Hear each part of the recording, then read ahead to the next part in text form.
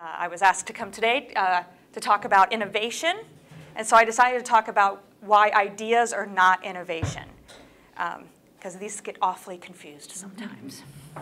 So if we talk about ideas, it's good to define creativity. And if we're looking at a good definition of creativity that I like, it's the ability to produce, produce something that is both new and useful. And when I use the word useful, it doesn't mean it has to be practical, like you know, this thing having this doohickey that allows me to go like this. It could be that a new piece of art evokes emotion, so that is useful in that, that domain, right? So creativity has both newness and usefulness or appropriateness, I'm going to say that word, um, about it. And then if we look at innovation, we're really looking at the successful introduction of something that is new and useful.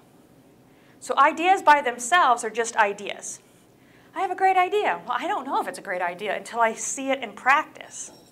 And innovation is taking that idea and putting it out there.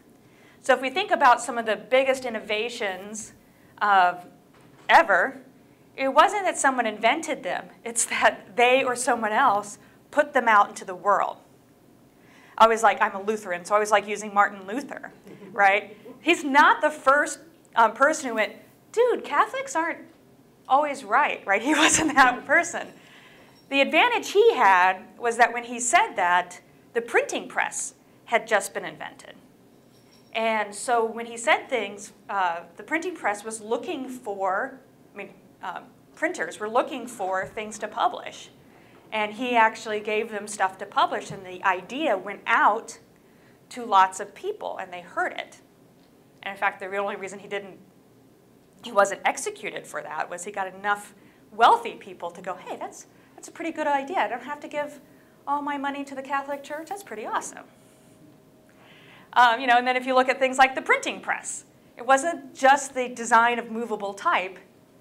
It was that they could actually get the, that movable type, they could print things and put them in people's hands. All right. If we look at entrepreneurship then, it's not just ideas, it's not just innovation, it's the whole shebang. So it's the discovery, evaluation, and pursuit of opportunities. Um, we actually usually say exploita exploitation of opportunities because that's an economic term, but it sounds bad, so I use pursuit. And so entrepreneurship is not necessarily about starting a business. Some people um, will start businesses and you know using entrepreneurial activities, but innovation and entrepreneurship can happen anywhere. So think about the one book, one, one college um, innovation of getting us together to talk about one idea. Um, uh, think about how the um, IRS worked out that if all they did is ask for a social security number for every single dependent you filed, Fluffy would no longer be claimed as a dependent. and they saved billions of dollars just by that one innovation. So um, opportunities are around us all the time. We can create our own opportunities, but the point is to pursue them. Does that make sense? Yes. All right. So ideas have no value in themselves. The next time someone goes, that person stole my idea, I hear it a lot. And um, my first question is, well, what did you do with your idea? Did you actually pursue it in any way? Did you try to raise money to pursue it? Did you talk to people about your idea, right? Did you even basically write a business plan about your idea? Having an idea by itself has no value. So coming up with a great idea really isn't that great. It's the starting point. Does that make sense? Yeah. It's the only, it's the first thing you do, not the last thing you do. And in fact, we see people come up with great innovations that the actual product they're selling isn't all that um, uh, innovative. innovative. I'm having a hard time today. We're going to use that as a word. So, think about Disney Plus, right? This weekend, Disney Plus came out. Streaming services exist, right? But the idea that a company who has that amount of intellectual property will finally put something out, we'll see if it's innovative, right? Um, we'll, we'll wait and see on that, but it's certainly something where the actual product isn't different. But if we look at Netflix, they've always, their product has always been um, giving people access to entertainment. But back in the days that they used to um, deliver DVDs, probably before your time, right? Or now with streaming video, they were the first group to really allow us to access the stuff without having to go to a physical store. And the innovation was in the process, not in the idea. And no idea has value if, it keep it, if you keep it to yourself. I hear professors say this all the time. Oh, you've got an idea, be quiet about it. Don't tell anybody about it. Well, then you have no idea. You have something that's going in the back of your head, but it has no value until you talk to someone about it and start asking them, does my idea have value? And so this goes to this point that people always ask me, how do I protect my idea? And my answer is don't. Don't protect it at this stage. If you have some kind of secret sauce, like you have some kind of patentable technology that could have value, well, don't necessarily talk about how it exactly works. Talk about the benefits of it. I've got this great new technology that will allow us to get DVDs to people's home in 24 hours. Right? Talk about that piece of it. Could someone steal it? Yeah. Are they likely to steal it? No because you usually have greater passion for your idea and implementing it than them. And if it's a big company who could easily replicate your product, they're going to be able to do that anyway, right? Even if you, you know, no matter when in the process you talk about it. But even they often won't bother to replicate it. They'll wait and see if you're successful at it and then buy you, buy your company. And then you can go, oh, boo-hoo, I don't have my idea anymore. I only have $140 million. So um, don't keep your ideas to yourself. Uh, uh, I think the risk is far less than the potential gain. So if we talk about that, well, who do I talk to? First, you have to talk to potential customers. If we're developing a new program at Bradley, I need to talk to students and potential students like you guys about whether this is a program that has value for you. Right? Are, is this something that you're willing to do? Would this program help you? The Turner School for Entrepreneurship and Innovation, which I am a part of, um, developed an entrepreneurship minor.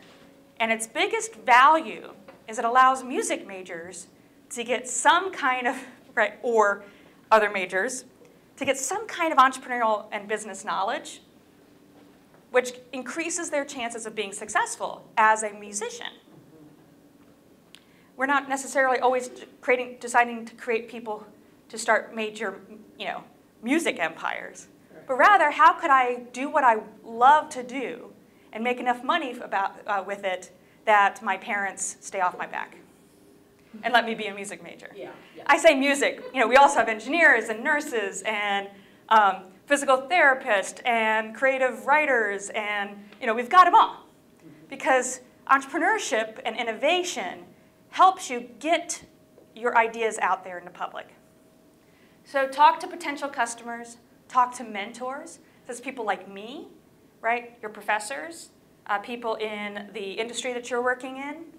Um, I'm going to give you a list of other places that are basically professional mentors um, that you can talk to. Hey, does this idea have any value? And again, they have no desire to steal it. They have enough crap on their table right now. Their job is to see, is to really help you. Because innovation is a cultural, it's a, uh, a cultural good, right? It, the world is better with innovation in it, right? Which is why I'm allowed to stand up here with a PhD and own my own house. Being a mere woman, that was not always possible.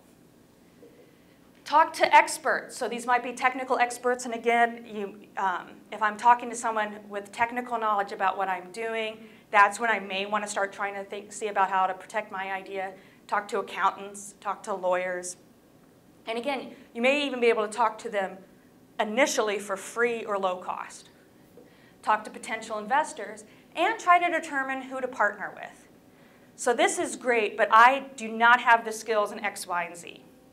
And so if I don't have the um, financial background to do this, can I hire someone to do it? Do I have a roommate um, who had that background? Does my dad, does my roommate's uncle have a friend? Who do I know that could be a potential partner?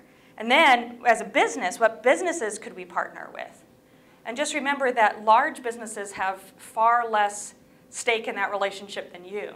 So if you're like, I'm going to partner with Amazon, remember that partnership matters far more to you than it does to them. So we talk about in entrepreneurship the idea of a uh, MVP, which is a minimum viable product. Does that make sense? That's what they call it, a minimum viable product. And this is when you take your idea and you put it now into some kind of prototype and you get it out into the world. I was, um, a friend of mine was wanting to start a bakery. And one of the things she did is she baked up a bunch of cupcakes during the Chicago teachers strike and brought them to the striking teachers, right? Yeah. Now, first of all, they're appreciative, that's great, but also she could get some feedback. Which of these do you like better? I mean, come on, have you, I don't know if you've ever been in a strike, it's pretty boring. so, so um, you know, which of these do you like better? How much would you pay for something like this? If this was catered, is this something that you would cater, right? Um, now that's one very precise market, teachers, angry teachers, I guess. but um, it's a way to get your idea out there. That's a minimum viable product. So if I was wanting to start um, uh, well, I'll go there. Uh, if I was going to start a restaurant, it'd probably be better to just try selling the products, you know, out of, this is being recorded, so I won't say that, like out of a food truck or a food cart. I was going to say out of my car, but that probably violates health department things. Yeah. You know, I always say that, you know, if you're trying to sell something that is good quality but cheap, you go to Fraternity Row, right? Or places where people are really hungry at 2 in the morning for some reason. Right. Yeah. So, um, so go somewhere that, that, has, that has that. And you want to put it out before it's perfect. Now you have to make sure people know that this is the first generation or a beta test, that it's not the perfect product. But one, one of the things that we learn is that when you put things in people's hands, they use it differently than you thought they were going to use it. Right? So, you know, one of the things about these clickers is that they're really great um, for right-handed people. I am right-handed. But I don't know if you noticed that they're not so great if you're left-handed. So put this in some left-handed people's um, hands, right? Yeah. Uh, I have uh, nerve damage in both my hands. I'm using this because it's my only prop at the moment. I drop this so much my students actually have a betting pool as to when I'm going to drop it in class. Watch how people use your product because they may use it in different ways that you, than you intended. And that doesn't mean that it's wrong. It means that there's a potential market for things, hello, for things that, um, that they didn't know were there. A minimum viable products are really easy to see in technology because you've probably seen like a beta version of a piece of software or an app. It's the easiest way to see it. And they also can gather a lot of good data um, on it because it's electronic. Uh, but one of the things is that people have a tendency to use it differently than you thought um, or a different market picks it up than you thought. Um, and that's okay, as long as that market has value to you and actually pay stuff. I always tell my students, and I think all students, if you're looking at a product to sell to students, don't, because students are broke. And it has to be something really valuable to you before you're willing to pay for it. I'm not going to pay for this clicker. I have to have this clicker in order to do my job. But Bradley won't buy me one, so I had to buy this one.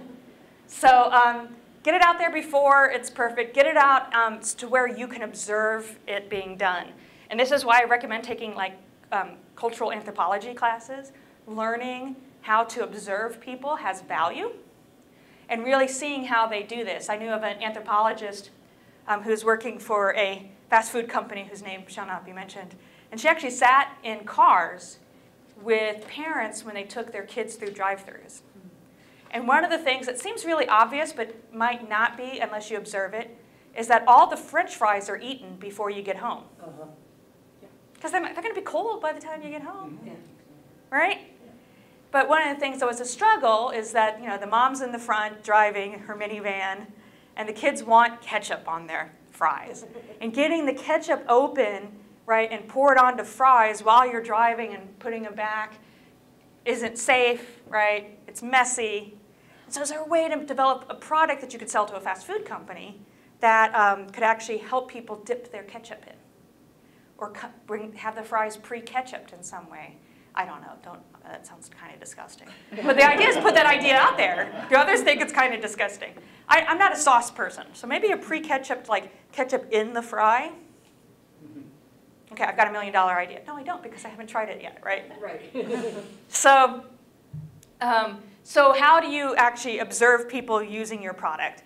And you can often, um, one of the things people don't seem to realize is you can ask people things like, hey, um, I'm not saying necessarily you have to ride in the back of their minivan, but can, can you go and observe them doing stuff? Can you say, hey, will you try this product out for me? I'll give you five bucks or something. And have them try it out and see how they use it. What I don't recommend is asking them too many questions about what they want, because people don't know what they want. I want you to ask them questions on how, do, how would you use this? Is this something useful? Does this solve a problem for you? When you ask people what they want, they, they don't actually give you an answer that's very innovative. They don't really give you feedback that's useful. They tend to just give you something that's a slight improvement on what's out there before. And don't have them be all friends and family, because friends and family are too kind to you, usually.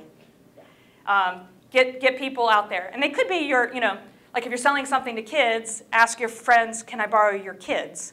In a way that's not creepy or illegal. And can I, you know, have them look at these things? Kids are very honest about stuff.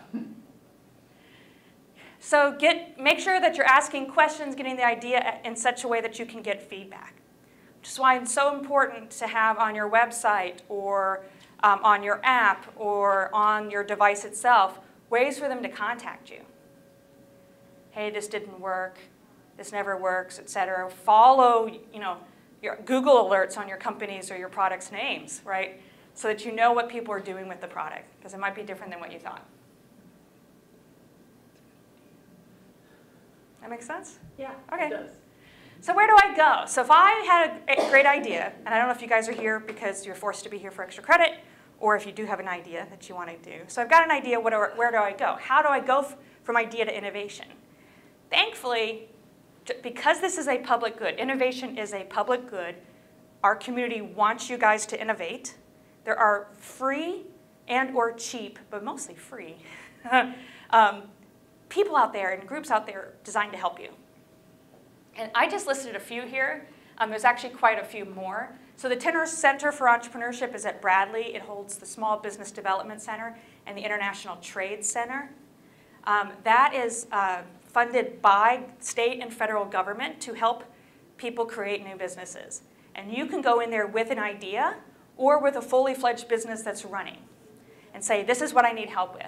And they will help you get that help. They either will give you advice themselves or get you to the next stage because they are interested in creating jobs. The Peoria Innovation Alliance is brand new. Um, they are all over, oh wait, I skipped one, but okay, I'll get back. Peoria Innovation um, Alliance is all over social media right now. They've got the Innovation Hub. They've just um, created an innovation district in downtown Peoria. They are a group here designed to not only increase innovation in the Peoria area, but convince young people to stay here rather than go think that they have to go to Chicago or St. Louis or Minneapolis to be an entrepreneur. In fact, we've got plenty of stuff going on here that you can be successful, right, at half the rent with an average commuting time of 17 minutes, which is not the case in Chicago. Um, in fact, um, the, I guess you'd call him Vice President of Peoria Innovation Alliance, Jess Brown, is the VP of Design for Aspiration, which is a, um, a fintech, a financial technology company in uh, California. It is cheaper for him to live here with his family and go there a couple times a month, fly there, than to live there. Jeez. And what he's found is that um, he has much better control over his time uh, when he has to manage it. So he, he works, his, uh, he's the VP of design, so all of his designers are all over the uh, country now.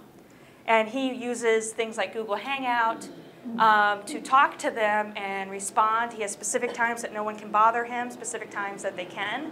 And he gets to be at home with his kids right? And see their, you know, go to their basketball games and tuck them in at night and do the things that he wasn't able to do when he was commuting an hour and a half one way.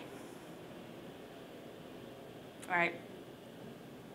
So um, we're seeing more and more people like Jess come back to Peoria to realize that they can do everything they need to without the lifestyle um, risks, I guess, that there would be in Silicon Valley. The, um, the average, I heard this yesterday, the median um, uh, cost of a house in the Peoria area is $75,000. In, in San Jose, in the Silicon Valley, it's 1.3 million.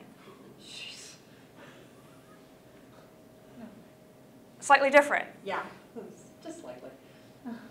and um, so this is a group who's really designed to help people realize that the resources are here to do this. And you can have a, a lifestyle that, that matters to you.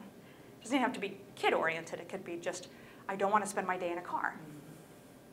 Um, Startup Greater Peoria is part of the um, um, Economic Development Council, and uh, they are really here to help start uh, new ventures and innovation in this area. Um, they run, um, among other things, the Nest co-working space, which allows you to have a, a, desk or a spot on a table, good Wi-Fi, good coffee, conference room that, you know, when you need it, at very, very low rent. Um, and then not only can you work in an area like that very cheaply, but you've got people around you who are in similar situations who can help support and mentor you. And then we have people who have office hours there to act as professional mentors. Um, we have meetups, and if you go to the Peoria Innovation Alliance website, there's a bunch of meetups. There's you know, hackathons, there's designer meetups, there's um, you know, um, web development meetups, there's all these different kinds. Uh, uh, uh, big data, data science meetups. Um, all these uh, kinds of meetups where you can meet people with similar backgrounds. Because one of the most important things is if you have an idea is to network and talk to people about it. You've got to build that network. Um, I mentioned NAWBO here. That's the National Association, Association of Women Business Owners. There's quite a few professional organizations in this area. Um, SCORE, I did not put up here, the Senior Corps of Retired Executives. Again, free advice to you from uh, um, older executives. They tend to be from larger companies. So around here, they tend to be from like CAT or OSF. Mm -hmm. But they, they do often have great networks of people and great ideas. And all of this that I'm talking about is free or cheap. I want to say inexpensive. Cheap sounds cheap. And most is like, you know, like some of the Peoria Innovation Alliance stuff, you have to buy coffee. You know, so we're not talking massive amounts of money. Yeah. Um, and that's just some of the different places that you can, that you can go to in this area. Does that make sense? Yeah. So never say someone stole your idea. You want to say someone stole my innovation that I had protected correctly, right? If you had an idea that someone seems to have, have a similar idea, it's probably been a really good idea. It's just that they got to the process of innovating it earlier. Um, I knew one, uh, I saw that um, it was a yoga mat, and it was round. It was like six feet round. And they were all upset because they invented this and some yoga supply company made a knockoff of it. And I'm like, it's a round yoga mat. What's the innovation there? It's round. There's nothing to protect, right? Make yours of a better quality and somehow use your brand to make it people want to buy it. But the roundness is not in itself an innovation. It's just round.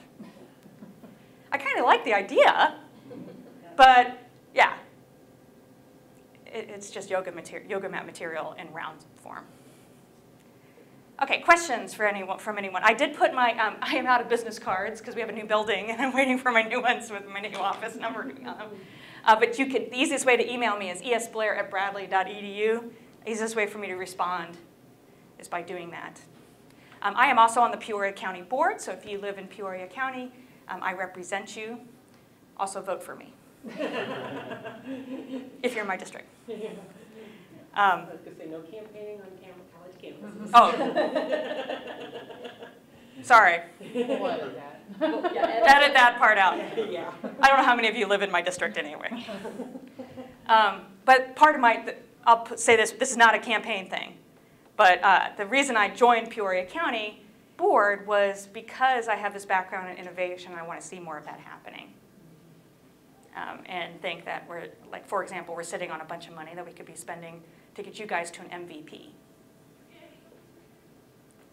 All right, questions I can answer for you.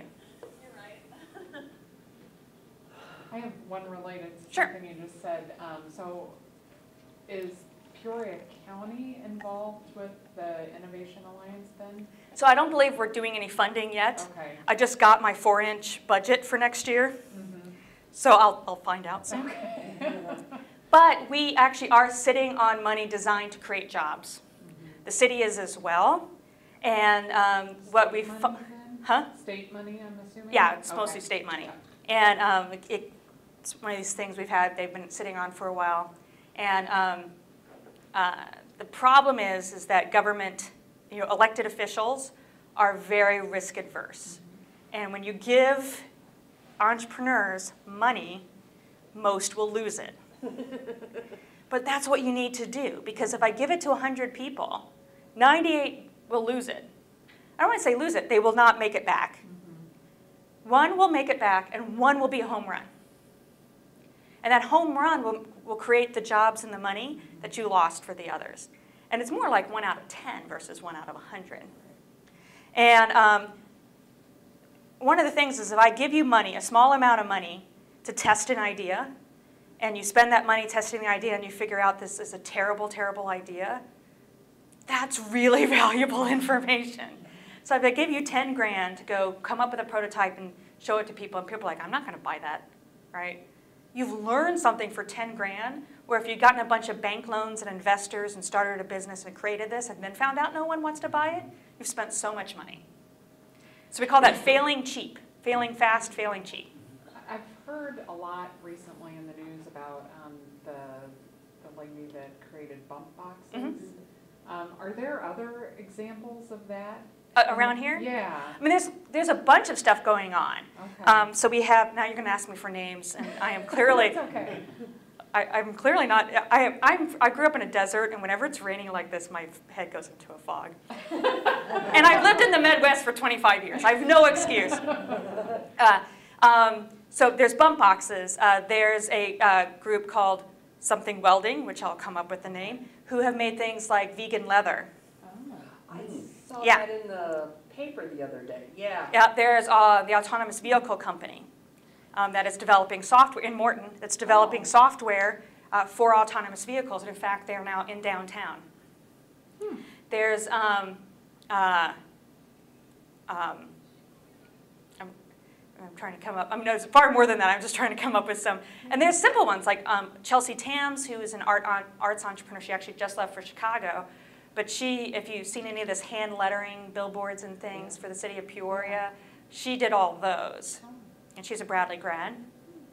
Um, Natural fiber welding. natural fiber welding. I knew natural was in it and welding. And I couldn't Yeah. remember this, the actual word that Yeah. mattered, which was fiber. Um, the um, uh, Tada is a brand new company that is starting to spin off ideas. Um, What's that? I, I don't even know if I can explain it. Okay.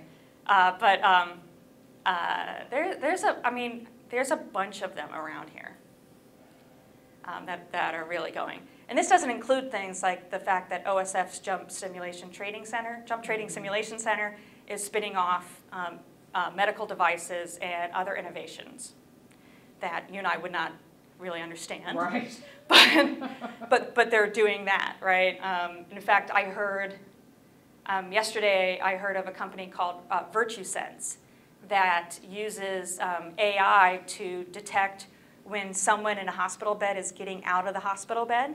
So you know how they used to have those, they have those mats? Well, this actually is a sensor, and it sends it to the um, phone of um, the nurse or whoever needs to watch it um, 20% faster than the old sensors Wow.